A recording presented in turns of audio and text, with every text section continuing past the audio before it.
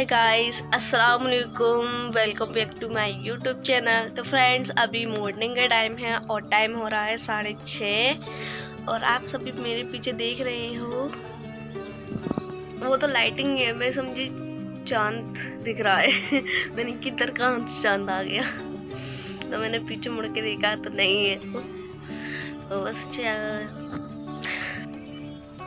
और मैं अभी ऊपर छत पर हूँ और रोड पर कुछ एक आध दो इंसान दिख रहे हैं मुझे दौड़ लगाते हुए और मैं डेली सुबह ऊपर आके जब अजान होती है तो मैं ऊपर आ जाती हूँ और वरना अगर नीचे रहूँगी तो नींद लग जाती है।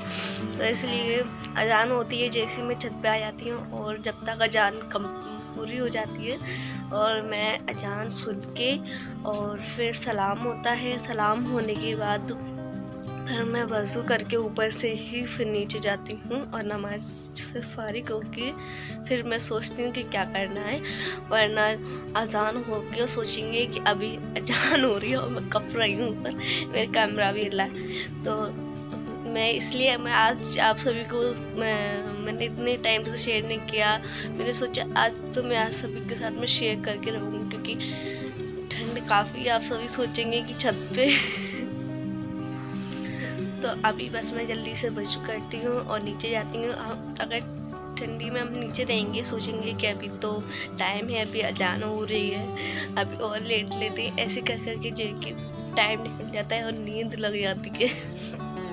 क्योंकि मेरे साथ में ऐसा हुआ है, फिर भी मैं अल्लाह से दुआ करती हूँ कि मुझे नींद ना आए और मैं नमाज़ से फारिग हो जाऊँ। तो बस मैं जैसे अजान होती, मेरा अलार्म लगा हुआ है छः बजे का, और जैसे छः बजे अजान होती है और छः बजे का अलार्म लगा हुआ है। तो मैं जैसे अजान होती है, वैसे ही ऊपर जाती हूँ और ऊपर आ जाती हूँ छत पे। छत पे इधर उधर घूमती हूँ और अपने वीडियोस भी देख लेती हूँ कि क्या मुझको एडिट करना है। और जब तक फिर मैं जैसे ही सलाम होता है, फिर वज़ू करके नीचे चली जाती हूँ। तो बस अभी हम वज़ू करते हैं, क्योंकि अभी छत पे अंधेरा है तो मैं आप सभी को दिखा भी नहीं पाऊँगी। आप सभी पीछे देख रहे हैं, क्योंकि छत का जो बल्ब वो फूक गया है। तो मैं आज इंशाल्लाह ज़रूर लगा लूँगी उसको। अंधेरा रहता है छत पे। और इधर की साइड एक लट, एक बल्ब लगाए तो इससे उजेला हो रहा है। तो बस अभी मैं जाती हूँ और वज़ू करती हूँ और ठंडी ठंडी हवा चल तो फ्रेंड्स आज कैसा लग रहा है आप सभी को? सुबह सुबह मॉर्निंग में मिलके आप सभी देख रहे हैं, पीछे अंधेरा है और रोड पे देखिए। एक एक आध दो लोग घूमते हुए नज़र आ रहे हैं रोड पे। एक आध दो नहीं है ये मॉर्निंग का टाइम है तो जिन, जिनको जाना होता है, वो जा रहे हैं। जिन जिनको घूमना होता है, वो घूम रहे हैं। अपना जॉगिंग करने का होता है, वो जॉगिंग कर रहे हैं। और बस यहाँ पर और जो लेडीज़ दूध लेने जाती हैं, हमारे यहाँ मोटिंग में जो है कि दूध पाँच बजे ही निकलता है। तो बहुत से लोग पाँच बजे छः बजे सॉरी गर्मियों में पाँच बजे और सर्दियों में छः बजे। तो मैं आप सभी को दिखा दूँ। देखिए वो लेडीज़ जा रहे हैं।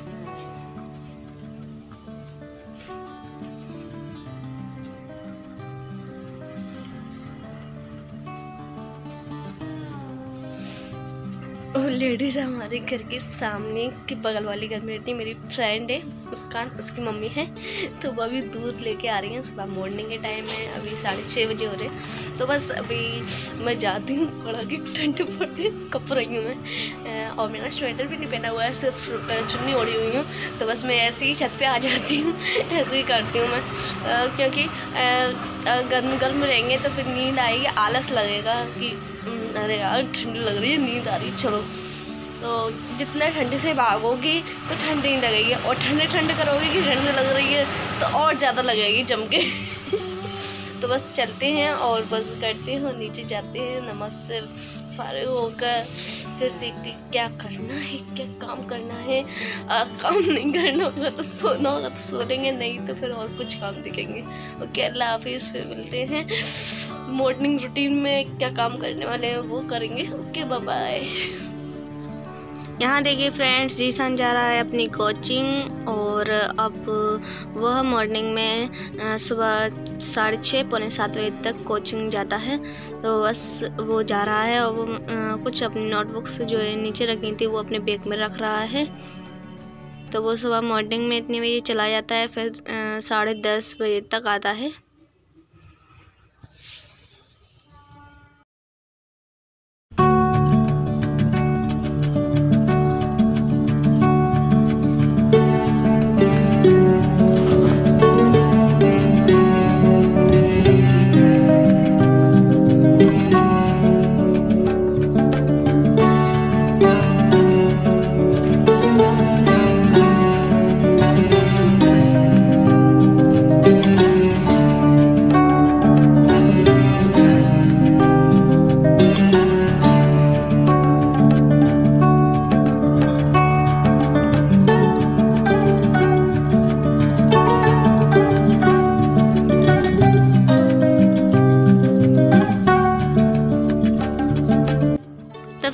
आप सभी को कैसा लग रहा है? मॉर्निंग रूटीन इंशाल्लाह आप सभी को पसंद आ रहा होगा और आप सभी को ये व्यू कैसा लग रहा है? आज थोड़ा आ, मुझे कोहरा लग रहा है जो कोहरा होता है ना सर्दी में कोहरा पड़ता है तो वो थोड़ा थोड़ा लग रहा है मुझे मगर ज़्यादा नहीं है और माशाल्लाह बहुत ही प्यारा मौसम हो रहा है और मॉर्निंग का टाइम में तो बहुत ही प्यारा लगता ही है।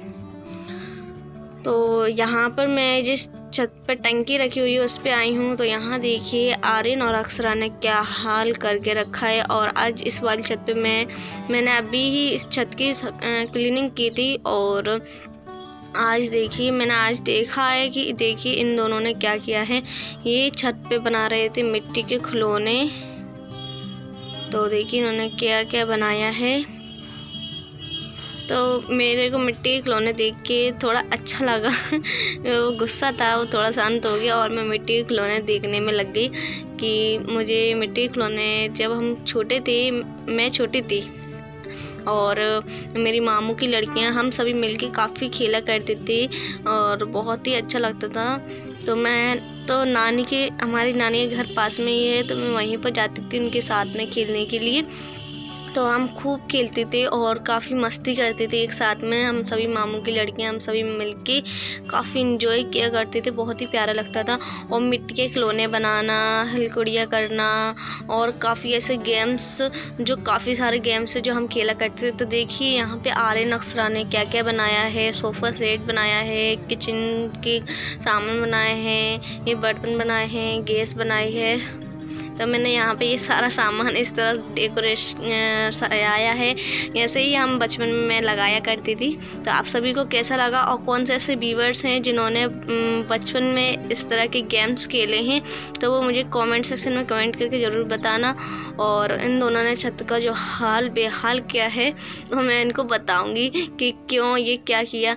छत पूरी तरीके से मिट्टी से बिगाड़ दी है और जो गुलदस्ते रखे थे, पोट रखे थे, उन्होंने उन्हें फ्लावर नहीं लगे थे, बट मिट्टी भरी हुई थी तो उन्होंने पूरी छत पे कर दी और ये टंकी रखी है इस वाली छत पे।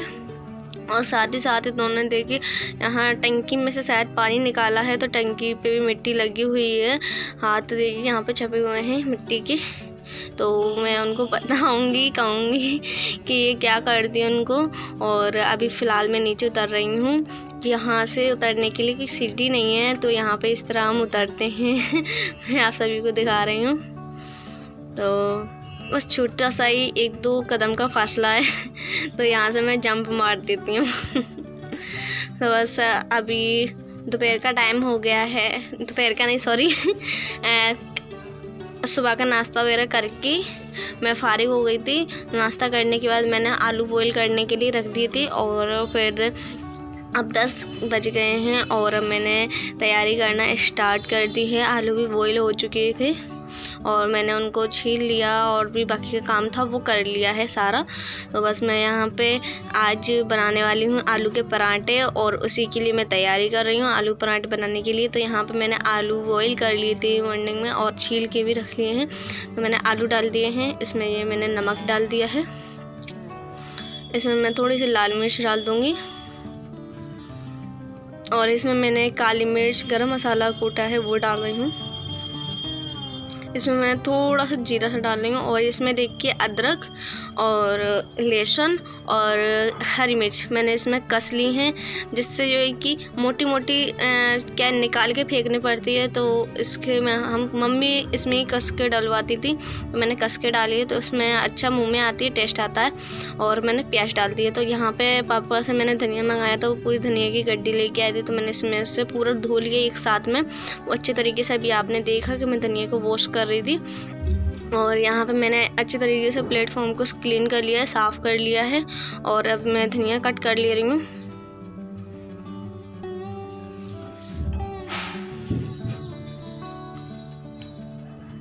तो यहाँ पे मैं धनिया कट कर रही हूँ और अच्छे तरीके से मैंने काफ़ी अच्छा खासा धनिया ले लिया है, कट कर लिया है और इसमें डाल दिया, मुझे कुछ ज़्यादा ही लग रहा तो मैंने आधा बचा लिया है उसमें से और अच्छा खासा मैंने इसमें डाल दिया है क्योंकि आलू भी ज़्यादा हैं।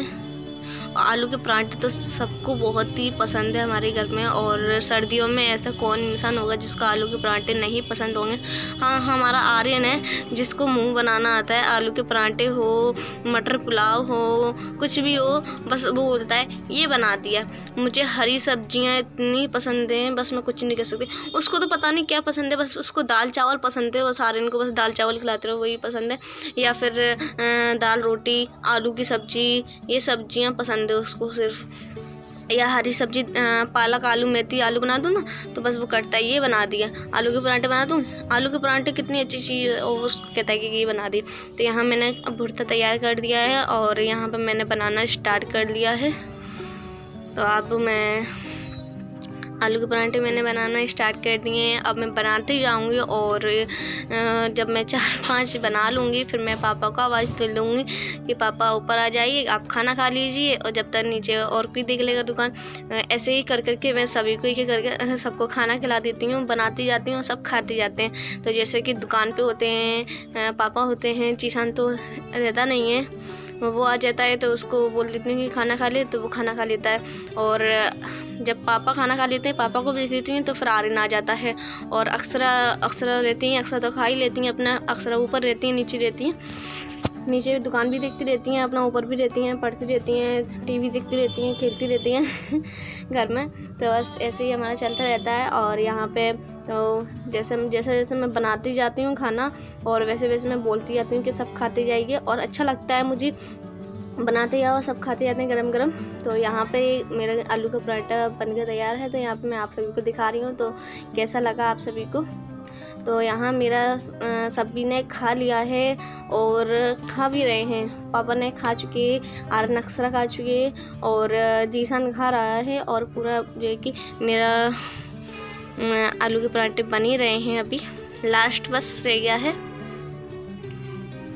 और बस आप सभी समझ सकते हैं, इतने सारे आलू के पराठे बनाने के बाद खड़े खड़े क्या आलू होगा मेरा।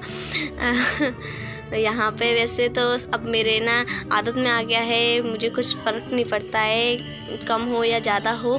मगर सबको पसंद होता है तो मैं कोशिश करती हूँ कि सब अच्छे से मन भर के खाएँ और मैं ज़्यादा से ज़्यादा अच्छी क्वांटिटी में बनाने की कोशिश करती हूँ कि जो चीज़ इसको ज़्यादा पसंद है वो चीज़ तो अच्छे से खा ले और जो जो चीज़ किसी को पसंद नहीं होती वो चीज़ तो वो खाती नहीं है ना, इसलिए। और हम अपनी लाइफ में क्या खा रहे हैं, रोटी, सब्ज़ी और ये भी अच्छे से नहीं खाएँगे तो और क्या खाएँगे? तो बस यहाँ पे आ, मेरा भुट्टा पूरा फिनिश हो चुका है जो मैंने पूरा बनाया था। और यहाँ पे इतना आटा बचा हुआ है तो मैं इसको रख दूँगी उठा के शाम के लिए इससे रोटियाँ बन जाएँगी। तो यहाँ पे बस सिर्फ़ भुट्टा तो ख़त्म हो चुका है जो मैंने आलू का भुट्टा बनाया था वो सिर्फ़ आटा बचा हुआ है तो उसको मैं संभाल कर रख दूँगी अभी। और यहाँ पे मैं चकला वेलन हटा दिए हैं और ये सारी खुश्की है वो मैं इकट्ठी करके उठा दूँगी यहाँ से। तो यहाँ पे मेरा लास्ट पराठा जो रह गया है तो उसको भी मैं कंप्लीट कर लूँ। फिनिश हो जाऊँ इस काम से, काम फिनिश कर दूँ। फ्री हो जाऊँ इस काम से, काम को फिनिश कर दूँ। हाँ आप सही है। कभी कभी मेरे मुझसे ऐसे ही है कि कुछ का कुछ निकल जाता है। कहना सही दिमाग में है कि ये चीज़ ठीक कह रही हूँ। मगर गलत मुँह से निकला और दिमाग में ठीक है। मगर बाद में याद आता है कि अरे ये नहीं ये था। तो बस यहाँ पे मेरा लास्ट वाला पराठा थोड़ा कड़क हो चुका है क्योंकि मैंने फ्लेम को कम कर दिया था और और फिर मैंने थोड़ा दूसरा काम करने लगी हाँ, क्योंकि वो आटा वगैरह था उसको मैं इकट्ठा कर रही थी और आगे काम कर रही थी। तो ये लास्ट पराठा भी हमारा बन चुका है। फ्लेम को मैंने बंद कर दिया है गैस को। और ये देखिए, इतने पराठे ये हैं लास्ट के। और बाकी सबने खा लिया है, सब फ्री हो चुके हैं। तो आप सभी को कैसे लगे मेरे आलू के पराठे? और उसके आपको रेसिपी भी मिल गई है। तो इंशाल्लाह अच्छी लगी हो तो ज़रूर ट्राई करना। अल्लाह हाफिज़, फिर मिलते हैं अगले ब्लॉग के साथ। और ब्लॉग को जाते जाते लाइक करते हुए ज़रूर जाना बाय बाय फ्रेंड्स